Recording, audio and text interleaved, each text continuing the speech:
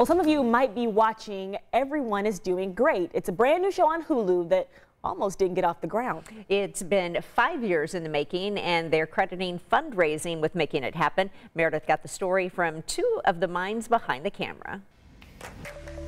You might remember these two guys from the show One Tree Hill, James Lafferty and Stephen Colletti.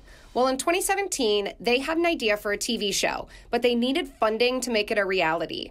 So James and Stephen launched an Indiegogo campaign a few years back and just appealed to their fans, and people went crazy for it. That's director of photography Johnny Durango. He raised a, a good deal of money, which was which set us up to get the next seven episodes after we had done the pilot going. The show is titled Everyone is Doing Great, and three years after that fundraising campaign, the show has been picked up and is now live on Hulu. we couldn't have picked a better name to be launched in 2020. The premise of the show is funny because the two actors, James and Stephen, found fame in their late teens and early 20s on One Tree Hill in real life.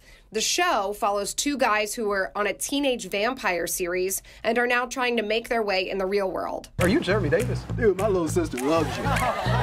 It's just a show about friends made by friends. And I think you can see that every day we came to work, everybody was having a great time, everybody was smiling, everybody was just excited to be there. And I could tell just doing this interview that these guys had a lot of fun. Bro, look at the camera. I want to look at your face on the screen. it's not where the camera is. Are, you- are you astounded we made a TV show? Like seriously, It's, it's a Two guys miracle. Looks like it did have a lot of fun, so everyone is doing great. Is streaming now on Hulu if you'd like to watch, though we should mention that the show is geared towards adults. Doesn't look like it's uh, kid friendly.